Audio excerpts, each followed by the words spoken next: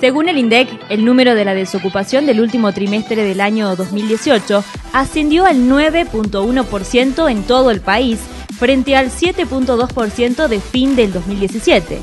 En un año, el empleo bajó del 43 al 42.2%.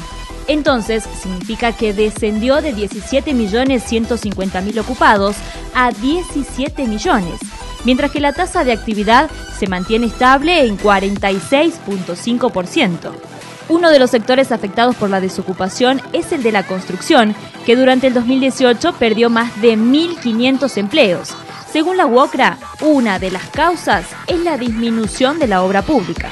el año pasado ha sido un año donde hemos sufrido, ¿no? la paralización de la obra pública dentro de la provincia, pero sí una desaceleración importante porque no hubo muchos emprendimientos nuevos.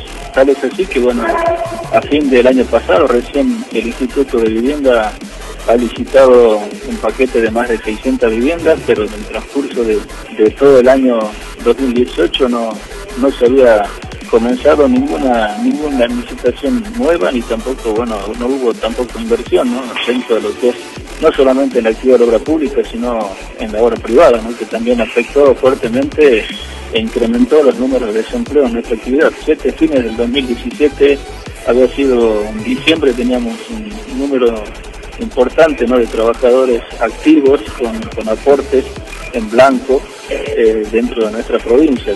Tal es así que hemos llegado casi a los 4.500 trabajadores.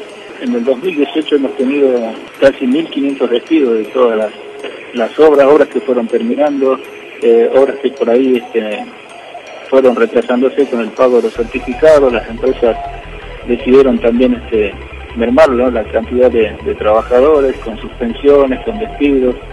y recién hemos tenido a fines del año pasado con el proyecto de, la obra en el Parque Solar, donde hemos tenido, bueno, incluso más, ¿no? Ayer también desde ese emprendimiento de, trabajo nos han solicitado más de 70 trabajadores que lo estamos incorporando a través de la bolsa de trabajo de la sección al En la provincia se analizan diferencias aún más marcadas la actividad creció un punto porcentual con respecto a igual periodo, pero del 2017.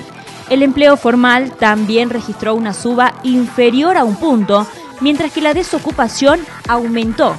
En el cuarto trimestre del 2017, Jujuy registró 5.9% de desocupación y en el mismo periodo del 2018, el porcentaje aumentó a 6.8%. Es decir, que se identificaron a 10.000 personas que no tienen ocupación.